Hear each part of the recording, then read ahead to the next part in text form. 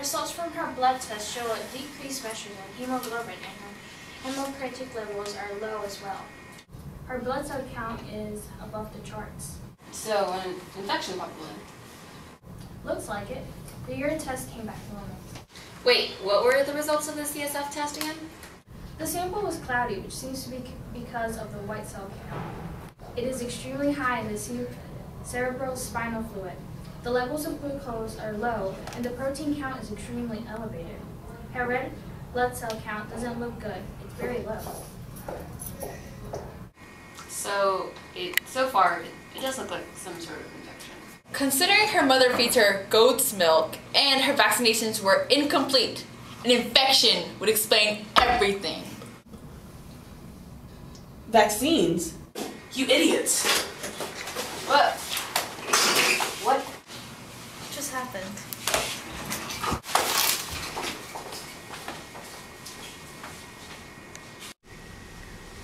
So, how's it feel now you've almost killed your child? What? What are you talking about? Not getting your kid vaccinated, then saying to daycare? You must be going for the Mother of the Year award, huh? No, no. I read it on the internet. The internet is wrong. Are you gonna believe every hippie with the laptop?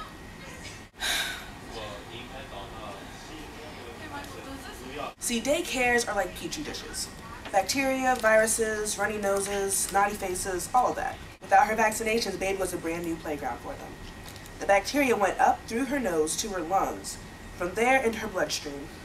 In adults, all the blood in your body circulates through your brain at least three times a day. The bacteria in the blood diffuses through the vasculature that vasculature that runs through your brain to the cerebrospinal fluid. More bacteria mean more material. More material in the brain means the brain swells. Foreman?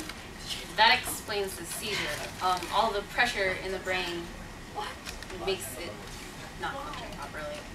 Exactly. The presence of bacteria alerts the cops. More white blood cells are in the CSF fluid. That's why the sample was collated to the spinal tap. CSF fluid travels from the brainstem down to the spinal cord.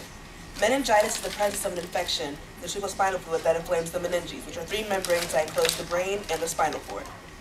Put her on some cefotaxime for a specific strain of meningitis. Hook her up to an IV and then have mom over here consent to vaccinations and a counseling session so you can determine what the proper diet is for a six-month-old.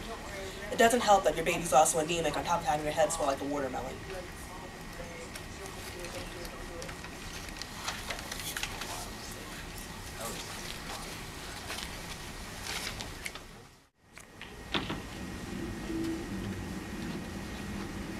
Did a good job today, House. I know.